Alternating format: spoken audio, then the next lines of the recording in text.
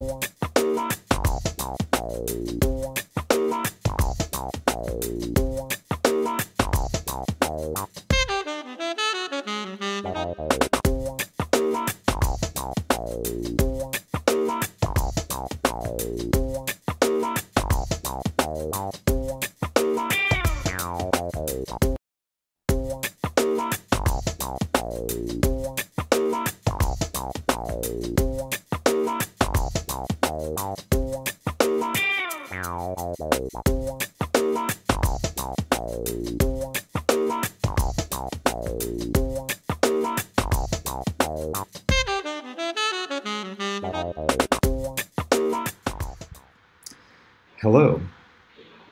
and welcome to Draw with me. I'm Danny Gregory, and it's time to do some drawing as we do every Thursday and have done for almost 257 years now, or at least half the time that I've been locked in this box here in Phoenix, Arizona, a box that has just turned into a convection oven because today it's going up to 150 14 American degrees here in the desert.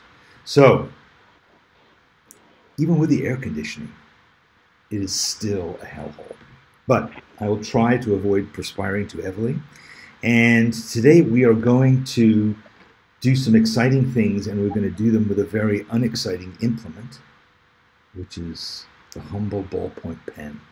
And we're going to be joined by my friend Gigi Chen, who is perhaps not familiar to all of you because she is new to Sketchbook Skool as an instructor, but she is fantastic and you're going to enjoy meeting her in a minute. And meanwhile, she is lurking in the green room, as we call it. It's not really a green room. It's not even really a room. It's not green. There are no like M&Ms or bottles of champagne or any of that kind of stuff. But anyway, there are lots of you all joining me, uh, including Timmy Karapides, Lalita Ma Maheshwari from Albuquerque, and uh, Raj Shakar Shi. I'm going to read people with interesting names today. Bhakti Deepak, Lalita Mashawari, and uh, Hurdy Gurdy One. So lots of other folks, uh, Renata and Jean, and of course Thistle, you know who. So I'm glad you're all joining me here today in preparation for today's exercise. I would recommend strongly that you do two things. One, acquire a ballpoint pen. I have, in fact, I have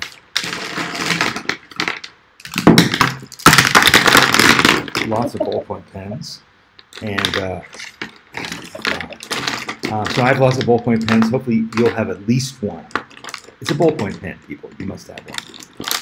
So get a ballpoint pen and then we're going to be drawing birds today because we're celebrating Ballpoint Birds, which is our upcoming workshop. And so get a bird, or get a memory of a bird, or get a picture of a bird. I will be using, where's the bird that I'll be using? Um, I'm going to be drawing a hummingbird. Why? Because they are beautiful, and we have a bunch of them here in our garden. They're vicious beasts. They're super territorial. They're constantly fighting, attacking each other, sucking all the stuff out of our various flowers. But they are beautiful. They are the fastest things you've ever seen. If you've never seen a hummingbird, I, and I hadn't until about five years ago, when you see one live, you can't really believe that it's an actual animal. It seems to be like some kind of a weird drone hyper-powered drone. It just doesn't behave like a normal bird, and it disappears. So that's what I'll be drawing. It's also relatively simple shape, and it has amazing colors. So get your ballpoint pens, get your photo reference. Um, Morgan, I think we were going to post this, right? So um, Morgan will give you a link, and so I'll, you can download this particular one, but don't. Go and get your own damn bird. There's a lot of them out there, and pick one that means something to you. This guy means a bit to me. Um, so find one. If you live in rural Scotland, you don't need to be drawing hummingbirds. Draw grouse or something like that. Draw something that means something to you. All right. So here we go. So let me bring on Gigi. Um, Gigi, here she, there she is. Gigi Chen. Hi, everyone. It's so nice to see you. You're you are uh, looking sunny and bright and uh, energetic. So, um, where are you right now? Oh, I'm in Harlem. I'm in New York City. I'm in my apartment, You just are. like everyone else should be, right? It's true. It's true. And what has your experience been like of the last few months? Have you had a good time? Uh, it's been weird. New York City got hit pretty hard, you know. Um, we have gotten a lot better here since since April, but it's still it's difficult. And as an artist, it's been challenging, much more challenging than I expected it to be, because we all dream of having endless free time, but it's not. It's not the same as.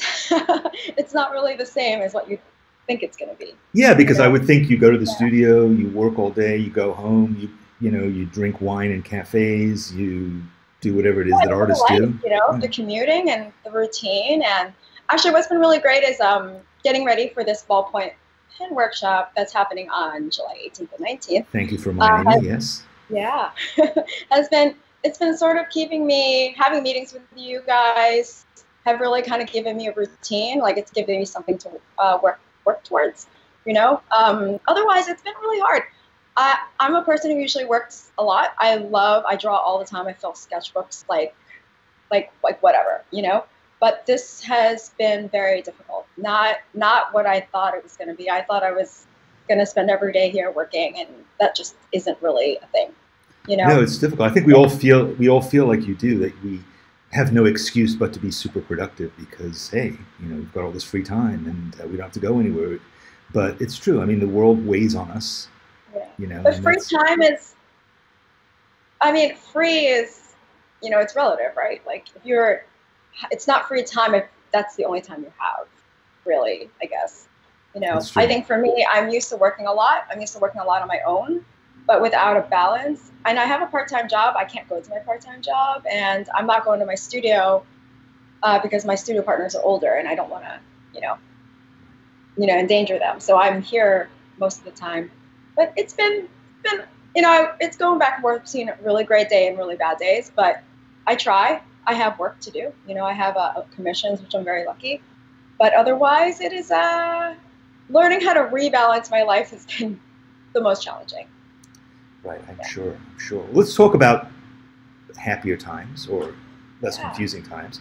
So the last time I saw you was just um, after your show had opened um, in the village, not far from my house. You had a show of beautiful bird paintings. Tell us a bit about that show that you did. Oh, we're so lucky. It was at the Stone Sparrow Gallery in the West Village in Manhattan. And it was my dream show. It's such a gorgeous gallery. And it had only been open for about a year. And I they offered me a show. And I did oh, I made I made so many paintings for them in a short amount of time. And I was super lucky. It was in February. And the, of course, I mean, the timing of that for me was so fortunate. And it really was a dream show. I got to have everybody show up, and I got to have this one beautiful party because art shows always feels like it's my birthday. Right. Yeah, it was really wonderful. And what was That the theme? I- What was the theme of your show? I mean, I know what it was, uh, but you tell oh, us. yeah. Oh no, it's okay. I I work. I'm working on this series about this bird called the bowerbird, B O W E R. It's a very special bird. It lives in Australia, New Guinea, and in order to catch a mate, the male bird collects a lot of little objects like bottle caps, uh, just little berries, and creates these like beautiful structures called bowers. Then he sings and he dances, and if the female bird likes what she sees, they mate. And but I love how this story is the story of an artist. You know, he does all of these, collects all these things, and really fights for fights for love. Like he makes all these beautiful things, and he just hopes to find a little bit of approval. And I, I find that story to be very personal for me, and also for every creative person. We make and we make and we make, and we hope we hope to get that show, but we also just hope for someone to look at what we do, right? So it's not just about getting getting the big show, which is just fortunate, but finding a little bit of love and happiness as you make it. And I think that during this time, I think about that work a lot, and I, I'm still trying to make that work here because it really is. In the end, it's like fighting fighting for what you actually believe in, you know. And this is a really interesting time to think about that and recreate that and also just reframe it for ourselves. Yeah. No, that's those are beautiful sentiments. I mean, I've talked to you about this bowerbird show before because the bowerbird has always meant a lot to me too. Because the bowerbird to me is also just a sign of how essential creativity is for all creatures, really, and how sometimes you'll you know we as human beings tend to think that we are the ones who are capable of making art, and actually we don't even think that. We think that a very small number of us are capable of making art. But the reality is that, as the bowerbird shows us, that making beautiful things, creating things out of things that already exist, expressing yourself to the world, those are all like very basic natural things that so many creatures do and, and that we can embrace it in ourselves. We can say, you know what, I don't have, I mean, I, I don't have to uh, pigeonhole myself. I don't have to categorize myself by saying, I'm not creative, or I didn't go to art school, I don't know how to do these things. Look at this is a little tiny bird, and it's doing it. Why can't I? That's that's part of the lesson that I take from it too. Yeah, I mean it's instinctual, and the bowerbird is the, really one of the few birds that has like, in a lot of ways, aesthetic taste. But I mean, every but every every animal has a taste. Every animal is looking for something very specific, and and and and as humans, like it's all individual, one person to the next, right? And that's what makes us kind of special and even making art i mean we all make marks differently from each other right. like all of us right. you know even if we're trying to copy someone we're all making work completely on our own terms you know exactly so i see a little bit of confusion because of my rainbow waterfall of pens you don't need a waterfall of pens for no, Gigi's workshop. In fact, there's really not much you will be able to do with them because you will be spending uh, most of the workshop working with one black pen, and then you will be adding one blue pen.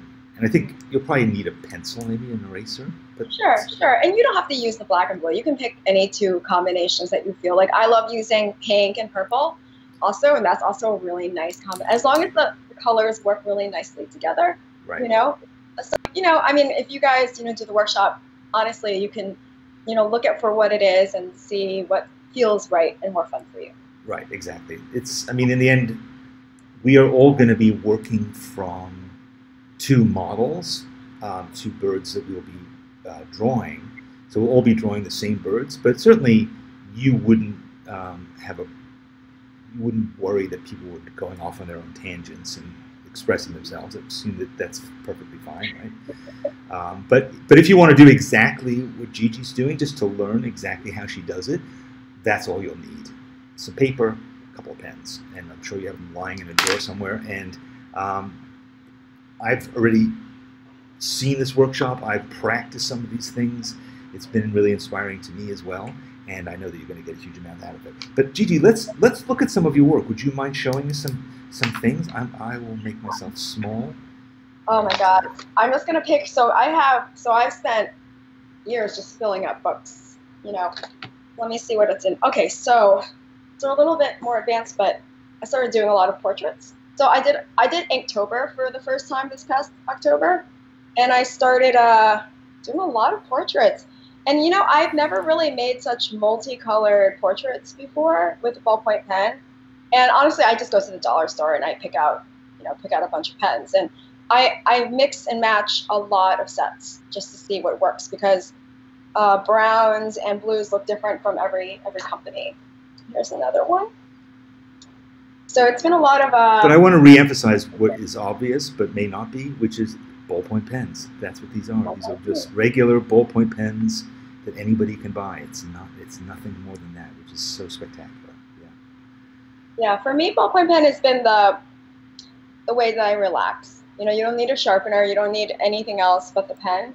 And I have found myself, especially when I took on Inktober this past uh, this you know, this past October, I really wanted to, I just wanted to have fun. You know, I know I was asked a few questions about the archival properties of ballpoint pen, and honestly, sometimes I just, it's one of the few things that I, I really do it for myself. You know, I'm a painter, I make all these, you know, I make all these elaborate paintings, but having something like this, which feels very intimate to myself, has been very important because sometimes you just need to, you need to have something for yourself.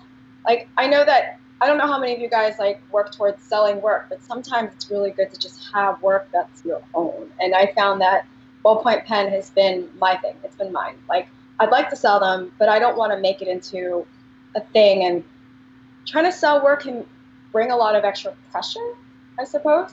And I found that doing ballpoint pen has been my way of just like having fun for myself, really. So, so it's almost like the medium because it may or may not be archival because it's not traditional.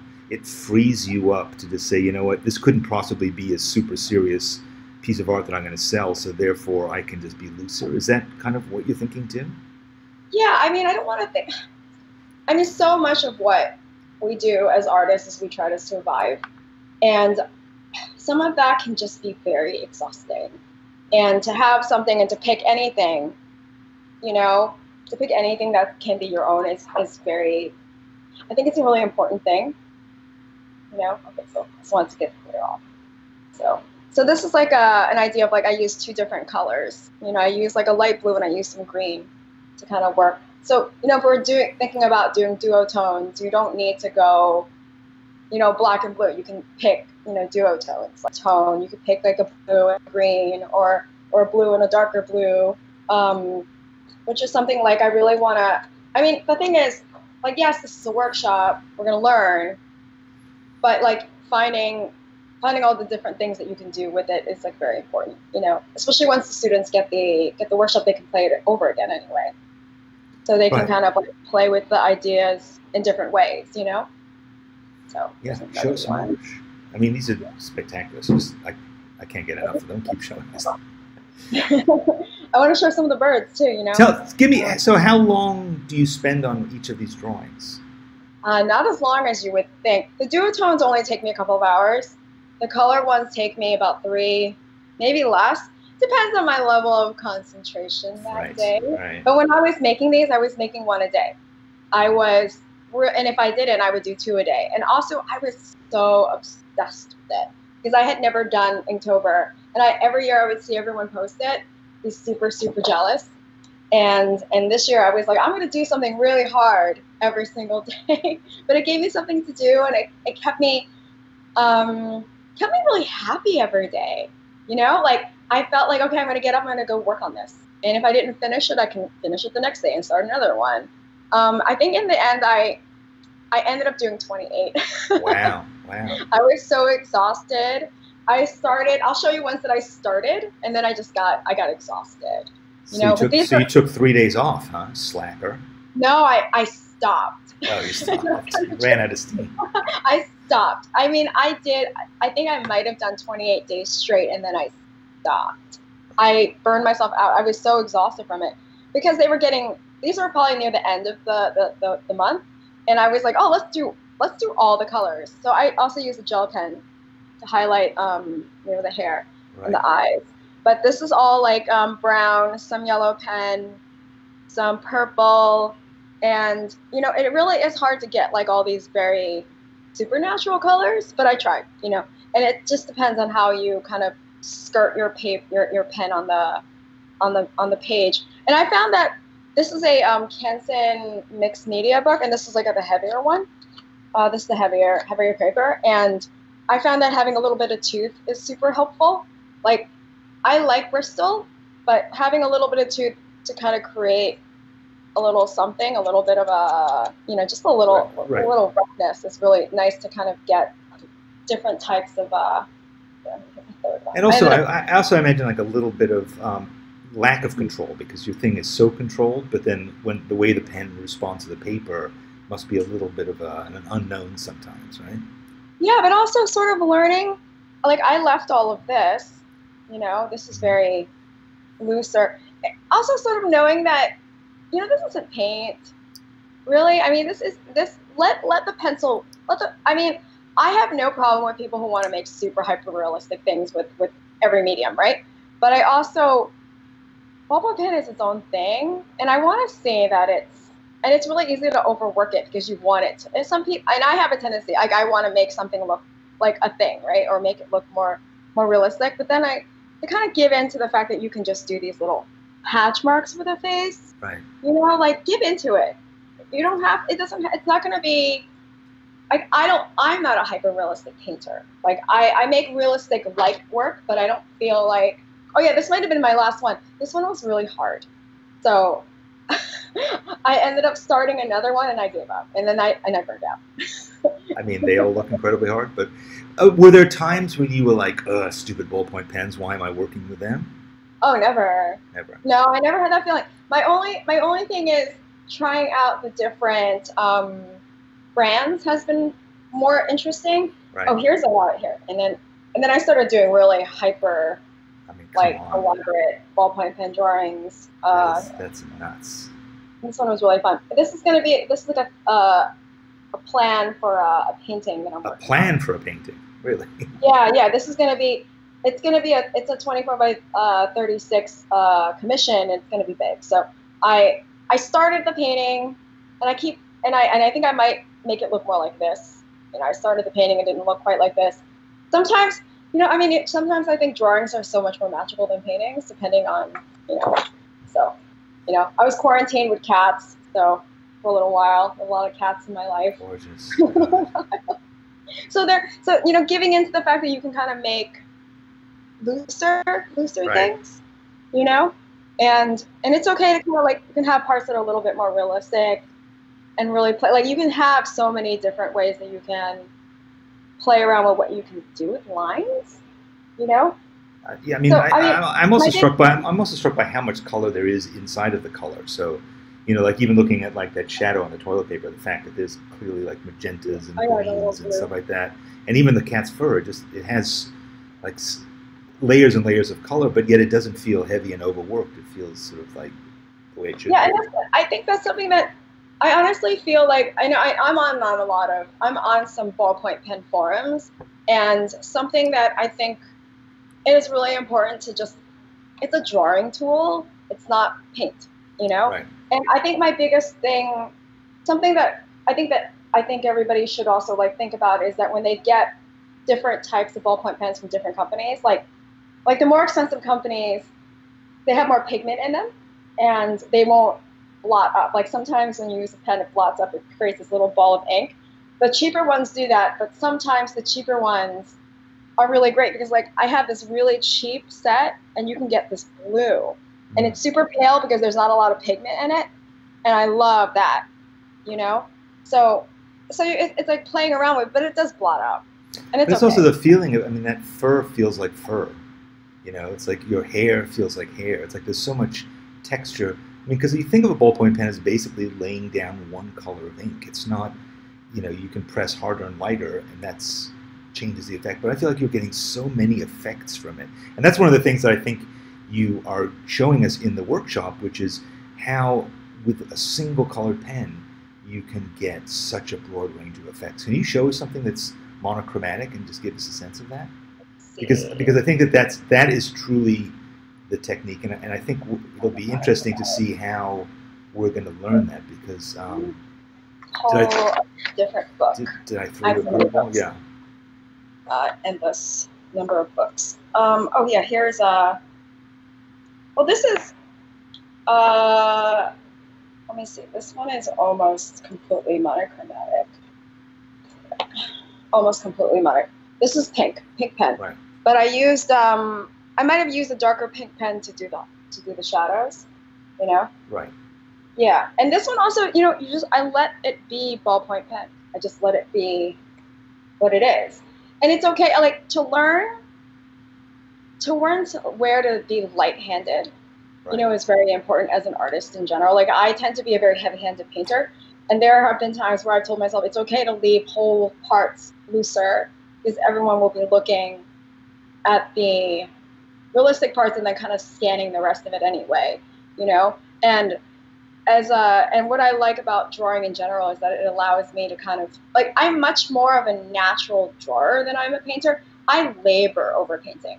I labor over it and it's exhausting for me. Like I never feel like I ever finish anything. That's because I I learned how to paint later than I did learn how to draw. Mm. And I do drawings for almost every one of my paintings beforehand just because I like I like to maintain I like to look back at my drawings to maintain that looseness for the painting. Otherwise everything will just be I'll be constantly trying to make something look realistic when it really doesn't have to be. Right. You know, it's painting. I mean, we're artists. We're not like. I mean, I as I said, I love, I love. I'm amazed by hyper realistic painters, but I myself have accepted the fact that I'm not that kind of artist. If you say so, but I, I think most of us would disagree with that because clearly you're creating, you're rendering photographic effect, near photographic effects with what you're doing. So Another one. So I kind of just let, you know, you just kind of let this be what it is. You know, this part. But if uh, we want to look at birds, we can look at birds. yeah, let's look at some birds because we're going to be drawing birds. Some of you are saying like, "Oh my God, is this just a commercial?" Yes, it is a commercial. Sorry, guys. It's an amazing commercial for an amazing workshop, and we're going to be looking at some more of Gigi stuff, and then we're all going to draw together. Um, so, uh, Okay, we should draw together. yeah. but here, so, here's, so a, here's a ballpoint pen. One, I put a little bit of wash behind it. But we can draw together. Yeah, know? I no, show us a few. Show us a few more. Show us a few more because we can we can always draw anytime, but the opportunity to hang out with you and to learn about your stuff is just amazing. Small, it's a small Now this one. this this did did this become a painting or is it or or did you do something similar with similar? Oh, no, I've done some similar ones. yeah, This, this has never been a painting. you know. so beautiful. I mean, all those greens. I mean, again, is that dozens of different green pens or is it a small number that are used in ways to create yeah, new colors? A few. I used a few, you know. I mean, I just kind of have them all in my lap and I see what works, you know. And let's see. Uh, show you one more, you know. So I think everybody wants to draw, right? Everyone wants to hang out and make art.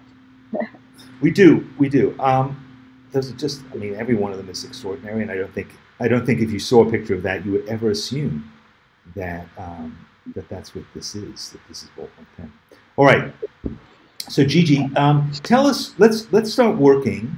Um, so the idea is for those of you who are anxious to start working, grab one or more ballpoint pens. Grab some photo reference. I will be using. Let me just, uh, let me, let me come back up here. Sorry.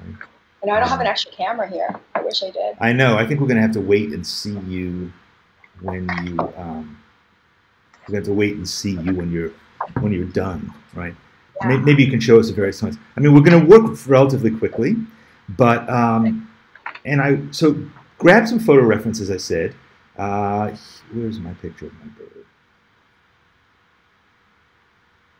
I think I'm gonna. Well, my friend started sending me pictures of her chickens, so I've been drawing chickens. That is so great. so I want to work on that. You know. All right, so here's my here's here's this uh, bird. We will put it aside, but I will bring it back in a second when, when I switch to my other point of view. Um, okay, so how should we do this? What I would love to do also to, is to talk to you a little bit about how we can possibly learn to do some of the things you're doing in, in a workshop. So let's just talk about that while we're drawing. But let's let's move to I'm to move to my workshop thing, and uh, I'm to do this and this. So, all right, so now we're little faces in the corner. We can see my sketchbook, um, and I mean honestly, this is humbling because now, of course, I'm going to make some horrible mess on the page after looking at all these things of Gigi's. But so be it. Um, it's it is humbling. So, all right, Gigi, start drawing. Doesn't look like you're drawing.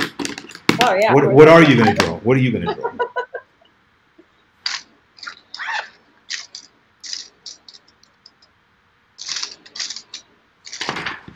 So what are you going to what are you drawing? I'm going to be drawing with these mini pens. So I got these Inkjoy minis. They're pretty good. I mean, what, what I liked about them is I got ten of them for a dollar. No, ten of them for ten dollars. Do you have you have you used this? I'm sure you have, right? Papermate Inkjoys.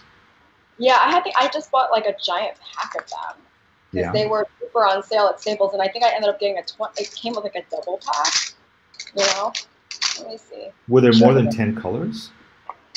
Jeez, there were so many of everything. I think I might have. I think I ended up buying two boxes of them because I'm weird. Uh, I have so many. I have so much. I have a lot of stuff in here, so I don't. You know. uh, just like yours.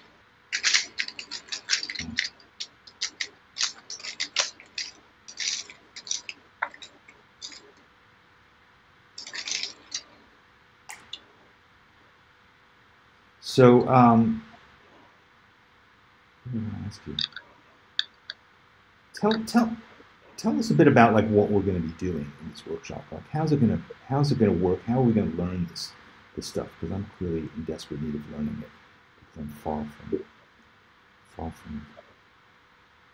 Well, we're going to start off with learning some techniques. You know, we're going to mm-hmm. learn how to make marks, and, and I think it's really important to to practice just like learning how you make marks. You know, with a ballpoint pen, and figuring out how the different ways, like what works for you. You know, and playing around with. Also, I think it's also important that maybe in prep it's like to learn like maybe what brand you like. You know, like some I have a lot of medium point one medium point pens, but there are also some fine point pens, and just sort of learning what will work for you beforehand, maybe. Um, or you just want to go in there like blind. Also, that's also kind of fun. Going in there blind is also very interesting. Um, I also kind of like to, to emphasize the idea that like it's it's pen and it's permanent, and you can kind of correct it, but it's not it's not that big of a deal if you kind of mess up a little bit with it, Mm-hmm. you know. And I kind of I kind of like the it's kind of kind of like the pen that way, you know, just to kind of like let it be, letting it be what it is, and yeah, and I also I just I really enjoy the idea of like making something that everybody has. And maybe that's probably what I mean. I used to kind of sit around and make a lot of doodles in school. Like I didn't paint. Admittedly, I, I was a good student but didn't like school, and I spent a lot of time drawing in my desk. So I spent a lot of time as a kid learning how to cross hatch. Because cross hatching is basically doodling. A little bit. It's, it's you know? sophisticated cousin. I mean, my thinking was always that I'm like, well, I have the books. I'll learn this later. I'll just do this for now. And I went to Mhm. art school. Like, it's not even like my high school was an art school, so I did that anyway. I, and I think maybe they kind of expected that that I wouldn't be paying attention anyway. But it's hard to say. I was a straight A student though. You know, Would they? Have, do you think they would have frowned on ballpoint pens in art school? I uh, I don't know. I mean, my art school, my high school was an art school. I went to school in college to be a traditional animator, and I didn't end up doing that. So Oh, really? yeah, I didn't. That wasn't really a, a thing that happened. I ended up leaving school and wanted to become a painter because that was hyper profitable. It's a, a great business decision. oh, 21 year old Gigi didn't know what was going on. Right? Oh, you're, Uh, you're still you're still living with her decisions. Oh my God! I re- you know what's funny? It's that I what's kind of nice is that the older I get, the more I feel like I made the right decision. Even that's though I think because when you're when you're really young and you're out of college, it doesn't um, making a decision always feels very like you make a decision, but you have like no idea what's going to happen anyway. You know? Right. I mean, I was. I mean, what's really strange is that I was such a uh, nerdy kid, and in a lot of ways, becoming an artist was probably the most reckless thing I probably could have done. You know. Was your, how, how did your family feel about you being an artist? um, I I think for a long time they thought I was gonna just do something else, but you know what it was? I think they when you when you pick something really young and you really commit to it, magic can happen. And I think that maybe also because I really really lucky and I grew up in New York City and there was a little bit more opportunity. Things happened all the time to me as a child, as being an artist. You know, like because there's just more. There's just more that happens in New York City. You know, um, we were immigrants and we, you know, I grew up here as like a Chinese immigrant, and my parents expected us all to have normal jobs. My sister ended up working for the government. You know, like all those things. But I think the more they saw all the weird stuff happening to me, like awards or I would get to travel, I think they really kind of they had to stop judging what it is Right. and They kind of accept the fact that like, oh, I think she's doing okay. You know, like the and I also I also sort of had this very and I still kind of have this very naive thought that like, well, the money will come. I'll figure this one out. You know, because I don't think that um, doing something out of fear isn't always helpful. Like I've taken random jobs thinking that it would be super helpful, thinking that I was supposed to take these jobs. Right. Like random sales girls jobs or office jobs and in the end it was just sort of wasn't very helpful, you know, because Mhm. I made I made those choices out of fear. That's good. Uh. Yeah. Also, and also, it wasted your time. Well, you realize, I mean, you realize pretty, I, I realized pretty quickly afterwards. I mean, I was selling memberships to like an art magazine for a little while. I did that for a few weeks and I was not, I mean, first of all, sales are really hard. They're a lot harder than it seems. Like just because you you can talk to people doesn't mean you're going to make a sale. And I realized that giving away all of your energy to something that you don't care that much about is like wasteful, Mhm. you know? And uh, I thought it was called maturity. there was a lot of, I haven't, I mean, honestly, like these are all, it's all terrible advice, guys. Like if you need to get a job, just get a job. like I was, I had, like don't, like I always tell people like don't do what I did because I went ever into everything like completely blind, you know, mm-hmm. not, not knowing what was going to happen and not thinking that maybe something bad could happen. But I was also super young when I entered the world. I was 24 and didn't think I thought, oh, I'm pretty good at this. Maybe I can like go and sell work. And I didn't sell work for a long time. you know, like a super long, like in a way that like I can't even believe that I stayed in the business. That be, like it- it, almost inappropriately so. it's, a, it's a difficult it's a difficult world to progress in the fine art world because because you weren't an illustrator you were a fine artist and that is something where you know it's a it's a small clicky world right that you to, I imagine had to spend a lot of time negotiating I mean, it, it can be, but I I didn't grow up like that, you know, because I went to school to be a commercial artist. I was used to being a collaborator. And Mhm. also, I had worked as an assistant, and I still do with artists. So I'm used to working with people. I I wasn't super crazy about being in the art world, filled with people who went to very fancy schools who, you know, had a pedigree, and I mm-hmm. didn't have a pedigree, you know. And I went into this completely, you know, on my own terms, trying to figure stuff out, thinking like I'm good at this. I can talk to people. Let's see what happens. And that when you do that when you're really young, it's I don't know. Like I don't even know how I like how I stayed in it because it was super weird. And I didn't go to Yale or Harvard. I didn't I didn't even get a fine art degree, you know. And uh, it can be clicky if you want it to be clicky, but I'm not that way. Like I found a bunch of people that who even if they went to really great schools, like just weren't like that. And I'm not like that, you know. But I also like I totally get that. I get like how if you go to a really fancy school, maybe you want to only hang out with people in fancy schools, or. But I also like don't.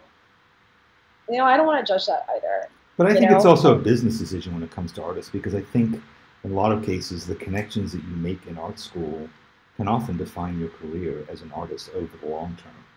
You know, I think that's why it's difficult for people who didn't go to art school to break in. It's not necessarily that they didn't get training or that they don't have ability. It's that they don't necessarily have those same connections that you get from, you know, going to school with people, having professors, you know, and all those kinds of things that that you know, like any business, like any industry, um, it hinges a lot on who you know. I think that I think from what happened with me it was that I just went in blind and just started talking to people. Mhm. But I also think that there is something to say about just making a lot of work. Like, and I give this advice, like, guys, I'm almost like, I'm actually almost 40 years old. And like, I've been like showing and doing stuff since my, I've been showing since I was 23. I'm really lucky. But that's because, oh, first of all, guys, the advantage is I grew up here. Like, I grew up in New York City. It isn't like, it's much more challenging if you didn't grow up in a bigger city. Like, so I'm not even going to say, like, oh, you know, everything happened to me and it was super accidental. It's like, no, I, I grew up here. You know, Mhm. I'm actually very, I'm very used to being here. I didn't grow up in a fancy neighborhood and a fancy family, but I am used to how weirdly paced New York City is. And so I'm going to just sort of like put that in. But in terms of, I really wanted to do this. And because I had absolutely no reference for maybe it not working out, I I went in blindsided and I walked and also when I was in my 20s, galleries were much more open to having people walk in and talk to them. So over 10 years ago, you could walk into a gallery in Brooklyn and talk to people. You could walk into any rando gallery, except in Chelsea, except in the fancy neighborhoods, and you can actually talk to them. And sometimes they, and almost they, they all answered my emails back in my 20s. It's not like that now. It's very different. But, but you also you also were bold, and you took it. You took you you know took a took a stand. You believed in yourself enough to to actually make that kind of decision, those kinds of connections, which is which is again part of it. It's like, don't you think that your faith in yourself helped you to sell sell what you are to people who I mean, didn't I was you? naive. I mean, that having naive. faith and being kind of naive when you're 23 is like, you know, like it's maybe exactly the same thing. Right. I figured when I was 23, I was like, I'm good at stuff, right? I'll just talk and and sometimes I would have studio visits, and I remember this having studio visits when I was in my early 20s, and they would walk in and be like, "What else you have?" And I'm like, "I don't know." Like I would somehow get people to come into the studio, and I wouldn't have that much work, and and I thought, how come I'm not showing with them? And then hmm. you know, it wasn't until years later that it's like, oh right, right, right. Like I was making a lot of work. It was all work on paper, but um, it took a lot of time for me to realize why certain things didn't work out. You know, like timing is everything. And also, like, for any of you guys who want to show galleries, it's really important to have a big body of work and have an identity for yourself before you start shopping your work around. Like, it really is about. I like it's a, it's a, it's a job, right? Like you don't go and apply for a job that you're not qualified for.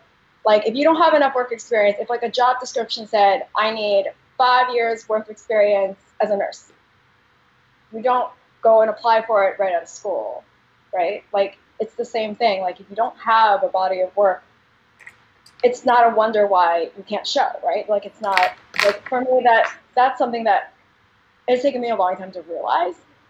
Um, but also like growing up in it and actually I decided that I just needed to like stick with it, you know, and I stuck with it somehow. But I would add to that, and I would say and I know this as a writer as well. Like there are a lot of people who want to be writers, but they don't necessarily want to write. You know, and I think that's true of artists as well. There are people who like they like the idea of being an artist. They like the idea of making money as an artist. They like the idea of having that life. But at the s at the at the you know the main point of it all is you have to want to make art. You have to do that. And it's surprising how many people kind of miss that. I, I remember being in a creative writing class in college, and the teacher said something like, "Okay, I'm going to expect I need you to hand in a story every week," and somebody groaned from the back room. Every week? I was like, I was like, well, what the hell are you doing here? Like, yeah. yeah. you have to write something every week. Like you, that shouldn't be that shouldn't be uh, like a pain. It's not like I'm asking you to write like a physics paper every week. It's like this is what you're supposed to want to do and I think that that's a lot of the problem is like the the the label and the idea of, of being in that position can overwhelm you. So so if you if a gallerist comes in and sees you haven't really made that much work, I think in or part they want to, yeah they want to see more of your work, but they also want to know that you actually really want to do this and believe in it, and you're doing everything you can to to get there. You know. Yeah, and also sort of like um, after spending a lot of time doing this, I realized that like rejections are not actually rejections. You know, like a lot of things are super arbitrary. Like, um, sure, okay. So when I was in my twenties, I was getting rejected from stuff, but but in my thirties, I'm like, well, well, it's not really a rejection. If there's like an actual like, a lot of things like everything is arbitrary in the art world. Mm-hmm. Sales are arbitrary. Why people get shown is pretty arbitrary. Subjective, you know, like, subjective, and based on yeah, yeah, based on what they think might happen or just or, or super random or just random you happen to walk in at the right time and they happen to be open to talking to you like right. honestly i mean if when i was in my 20s if i didn't do that it would have been different but like and and now honestly i don't really do that very often i don't maybe also because i'm a little bit more timid about it and i also sort of understand that sometimes people don't want to be bothered they don't have time to go and look at your stuff and um, and if you, and you know, it's funny when you're, especially because I've done art fairs. Artists, like if you're if you're someone with a booth in your gallery, like they don't really want a bunch of people walking in. Like people, like meaning that a lot of galleries are there that they want to make sales. They don't always have the time to kind of sit and chit chat with all the people who walk in, like Right. who just want to show you, show them the work. And and that's also something that I've become a lot more sensitive to because it is like it's their job, you know. And I've had um, I've had art booths, and I've paid for like a couple of art booths, and I've like shown at Superfine Art Fair, and I've had a lot of random artists come in and just ask me a bunch of questions, and I kind of go like, they're like, how did you do? How are you doing this? And how you know like how are you making any sales? And it's like, well, um, You're not there to be a career coach. I'm here to make a sale. Right. And and I used to kind of think that was rude if somebody did that at a booth, and now I'm like, oh, I'm doing this. Like I just paid money to be here. Like galleries are paying rent to be in their space, so their snobbiness is not always sort of like maybe it's not always so nice, but I, I kind of get it now. That a, I think that's a good point because it's a cli it's a cliche of the art world that you go to Chelsea and there's like some you know 24 year old well groomed young woman with a, an art history degree sitting behind uh, a white desk and you know barely looks at you when you walk in. But if you think about it, it's like well you're you're not there to buy anything. You're you're not really a customer. You're just a person who is getting you know the advantage of looking at this stuff for free but there it is a business and it is a, an industry um, and you wouldn't walk into some other random office you wouldn't walk into like a law office and like expect to like learn about law or see Yeah. some free see some free testimonials of depositions or something sure. Yeah, some, galleries are super open to talking, some some are not. Like, but yeah, I mean it's a funny thing like that. But those are all things that I didn't know, you know. But I don't know. So let's go back to talking about ballpoint pens. So there seems to be still a certain amount of consideration um, about concern about what kind of pens we're using and so forth. Tell me why it really why, why doesn't it matter that much? Or what are you, what is it that you're looking for? Because um, like when you go and find it is is it that you go through dozens and they all suck or is it that basically most of them are fine? What is your attitude towards the picking the pens that you're using It depends on what you're trying to do. Like as I said, I use the cheaper ones to do like light grounds, but I also you should find a you should find the pens that don't pool as much, like the ones maybe that create that weird little like ink mark. You know, so, that so it's like they get blobby and Yeah, yeah. So I I like the the brand, the big brands. Like I have Bics, but I Yeah. find that sometimes they deposit too much ink. mhm. You know. So sometimes I and I do layer with what I do, and I do tend to do a lot of. Um, sometimes I'll use the cheaper pens and do an underneath color overlay. You know, and then I'll use like the more highly pigmented ones. And I think just like any other art supply, is that the more the slightly more and none of them are expensive like none of these pens are not even like a whole set of Bic is that expensive right um is like the the more slightly more that you pay like the pigment is going to be higher you know maybe even the archival qualities of it will be higher. Not not that i know too much about the archival qualities I was going to say, are there are there actually like super expensive ballpoint pens? I've never really oh. I mean, I imagine you can buy fancy ones with like gold things that you know executives carry in their pockets, but when it comes to the actual quality of the pen, it seems like there's kind of a threshold.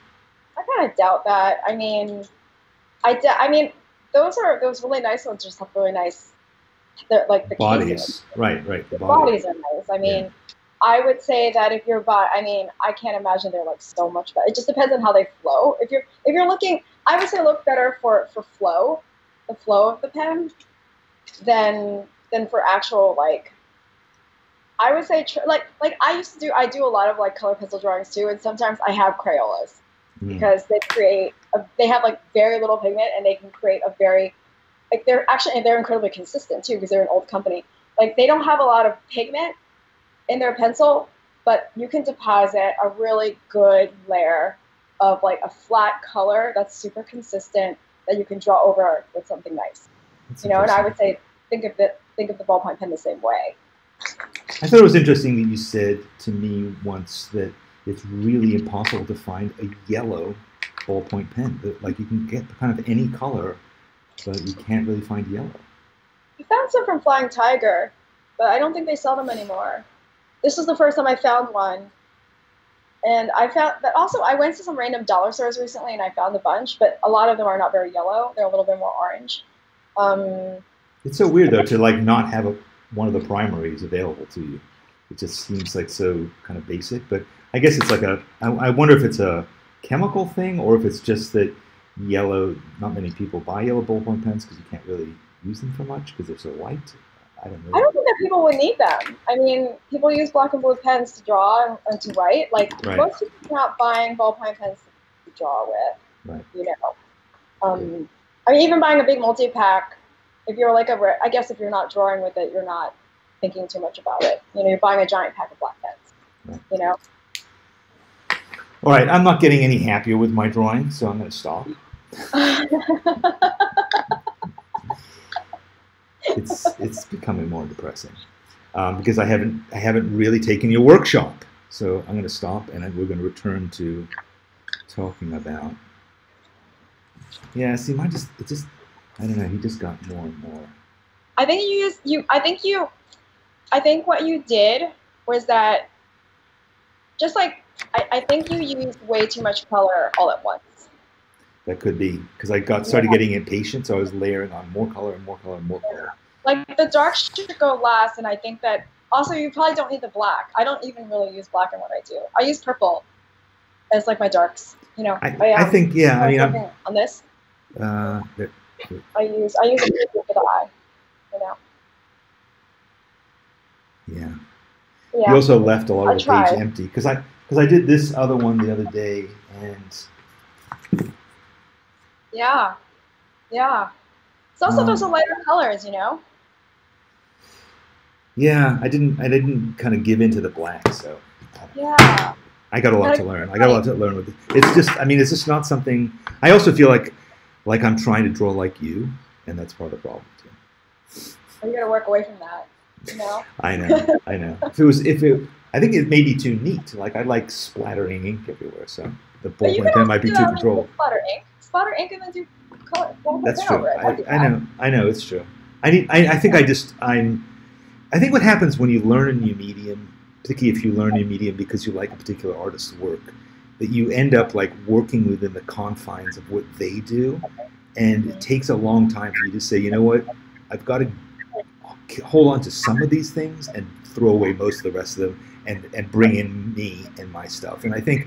I think that's what's interesting about doing this workshop, about doing any of the workshops that we've done, is it's like it's like a spice that you put into your soup, but if you put in too much of that one spice, it overwhelms the taste. And you know, it's like it, and it also needs to all like boil down, like it needs to all marinate and become who you are. I'm sure you've had that experience too, right? Well, I think that's more like uh, if we're going to use the spice metaphor, it's more like learning about a new spice and getting really excited about it and wanting to use it in everything, but not, you know what I mean? And then you have to be like, no, no, no. Right. You only need a little bit, or maybe you don't need it here, you know? Like, and that's something that, I mean, even like the way I loosen up what I do, I only do that because I've been drawing for a long time. Right. And I've also been doing ball and pen for so long to the point where I'm like, I know in my head what I want to leave behind. And I think with your drawing, it's like, like you want, like I, you want to, you want to make it look like the drawing, look like the piece, but maybe you just need to come up with like how to make it like an idea of it. like, yeah, yeah, Yeah, it's it's looser and messier, and that's that's more. and maybe that's what like what you could be doing with this instead. I know, I know. I I'm also going through a period right now where, for the last few months, I've just been working in tones, no color. Mm-hmm. And then, literally, like four days ago, I was like, color! And now my reaction to color is like, color, color, color! And like, no, like completely out of control, no like discipline at all. So I need to dial it back. I need to, and the, and it's funny because when I first started to draw, you know, 20 years ago, I started with one pen, and then I added a tone of gray, and then I added another tone of gray, and then eventually I put in some color, one color, and then it took me like two or three years to really get to the point where I was like, okay, I'm ready to actually work with a, a palette of watercolors, Mm-hmm. you know. And when I look at your stuff, and I think, okay, but you, when you have all these monochrome things, you're still being really controlled. You're working in color, but you're really only working in one or two colors, and so it's.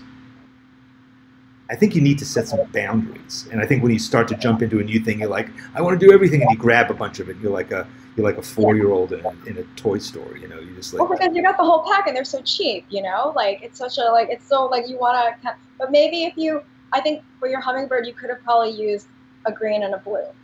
Right. Right. You know, like and then the whole thing with with green and then added the blue. I'll do it again. I'll do it again. I'll do it again.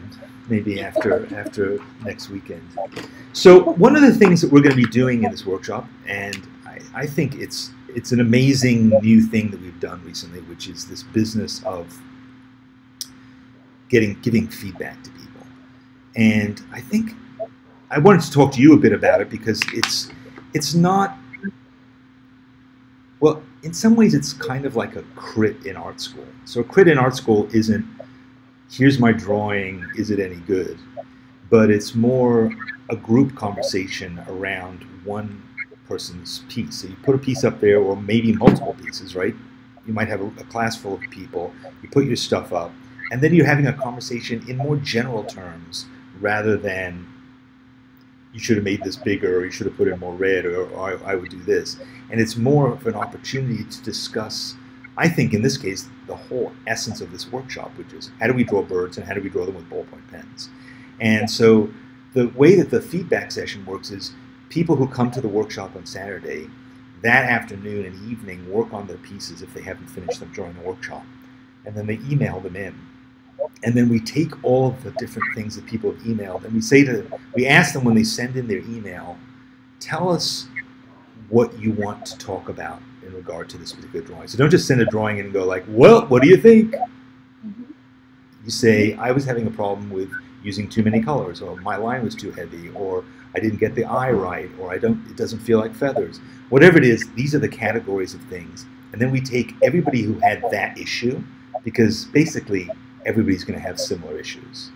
And we take them and group them together, and then we ask you, how would you deal with this larger problem? So it's not one on one, here's me dissecting your thing, but it's really more, I think, more useful because we'll talk about bigger issues. And I think that way everybody learns from what everybody else has submitted right? Because I don't really care about overhearing your conversation. I want to know bigger things. What do you think about that approach? Does it make sense to you? Well, I think it's a it's a really good approach because I think everyone's going to have their own issues with the medium. You know, like I think that sure you're learning techniques, like you can watch me do it, but how do you make it better for yourself? Like, and right. also sort of appropriate for yourself. Like as I said, like everybody, everybody's going to be making. We're all working from the same images, but everyone's going to be doing it differently and I don't think it's fair to compare what they're like. First of all, it's not great to compare each other. It's, it's useless. It's really no. It's there's yeah. no use because it's like the fact that your drawing is different or better than mine doesn't really help me. I mean, I'm yeah. just like I have work to do. So I'm glad to yeah. hear. I'm glad for you to give me a couple pieces of advice like you just did. But ultimately, I have to incorporate. I have to work. I have to keep doing it. Make it mine. You know.